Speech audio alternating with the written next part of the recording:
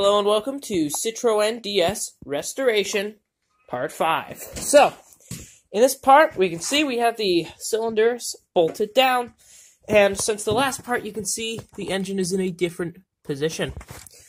I'll get to that in a minute, but, so, as we can see, number 2 cylinder is soaking in a certain juice.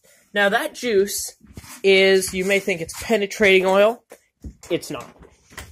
It is white distilled vinegar. So the distilled white vinegar actually did the job of unsticking the engine.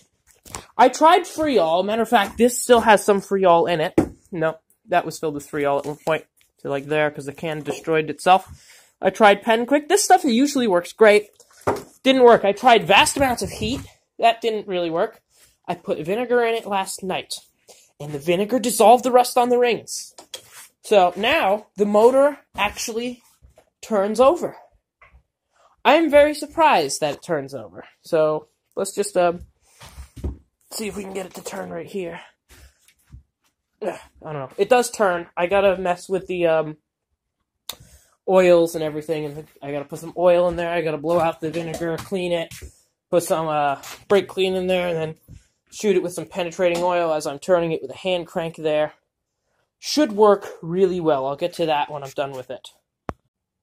Let's uh turn the engine over. I cleaned it out a little bit and put some uh, oil in there just to lubricate it a little bit extra. So um, uh, it turns pretty freely. I'm gonna have to clean up a little bit. Wow, it's turning pretty nicely now. It took about 10 minutes of cleaning. And now, let me just get the the big problem with the engine on this car is the fact that you can't access the um, crankshaft, and you don't want to turn it using the timing uh, gear for the camshaft because you'll just wind up wrecking it. So it's got a um, hex socket in the front of the motor. Let me show this to you. It's got a hex socket in the front of the motor, right there. That takes a, spe a special hand crank with a hex on the end. Now, I don't have that special hand crank. I'm going to have to get one. But uh, I've just been using... It's not the biggest Allen key I have. I actually have a massive Allen key. But um, it is an Allen key. It's a quite a large one.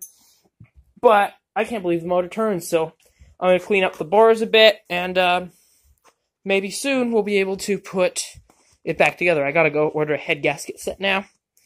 Gonna clean up the head. It's not cracked. So, um, Gonna clean that up. And then maybe the next part we'll be working on either the starter or something. But once that's done, we'll be able to put the engine back together. And with the engine back together, hopefully we'll be able to start this thing up. Because I'm pretty sure I can get this thing running.